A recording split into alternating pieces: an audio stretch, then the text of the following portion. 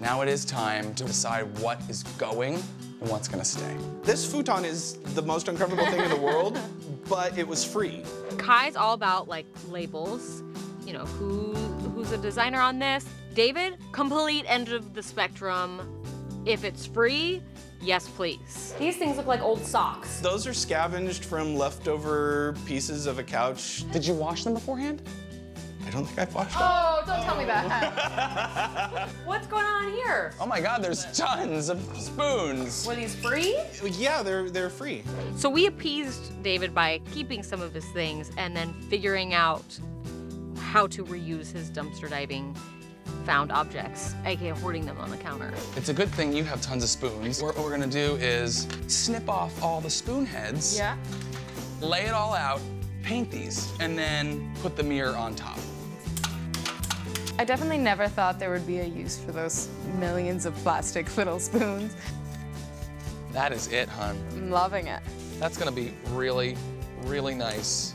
My favorite thing was spoon mirror. I can't even tell those are the spoons. That is really super cool.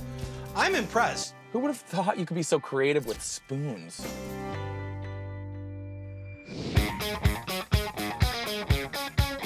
You're always gonna be on the couch.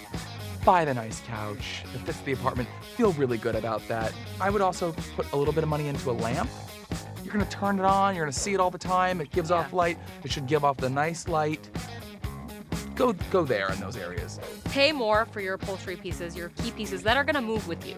But like drapes that are the exact length of where you're living now, they're probably not gonna work at the next place. Totally. Go, go budget on drapes. Go budget on a on a wall hanging.